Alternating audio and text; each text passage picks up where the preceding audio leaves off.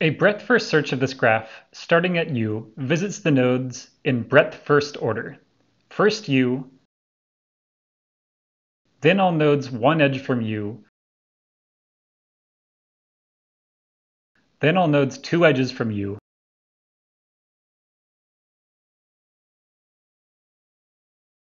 and so forth.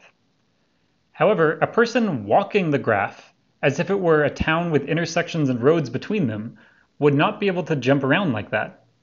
Instead, the walker could only walk from one intersection, node, to another along a road, an edge. We show walker red making such a walk to visit all nodes of the graph, visiting nodes in BFS order.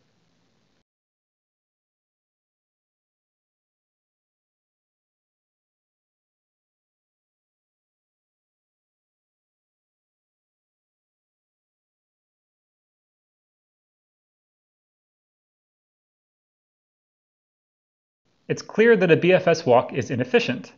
Actually, a DFS walk is much better, and we now develop it. We develop an implementation of a DFS walk, showing one way to organize it. The method has a parameter s of class state. Class state has two methods of interest to us.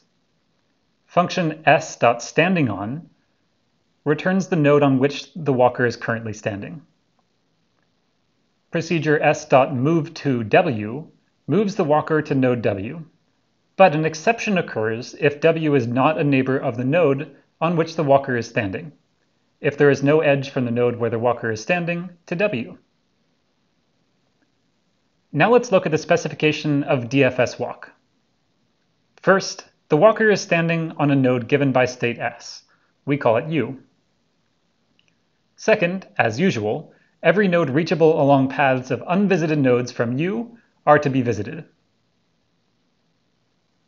Third, and this is important, we must state where the walker will be standing when the method terminates. The walker will be standing where it started, on node U. Fourth, we have the precondition that U is unvisited. We now develop the method body from the specification. First, Let's save the node on which the walker is standing in a local variable u and visit u, since the spec says it's unvisited. Next, each unvisited neighbor w of u has to be processed. A recursive DFS has to be done on each unvisited neighbor. According to the spec of DFS walk, the walker must be standing on the node. So the first step is to move to node w. Now, DFS walk can be called using s as the argument. When that call terminates, according to the method spec, the walker will be standing on that same node w.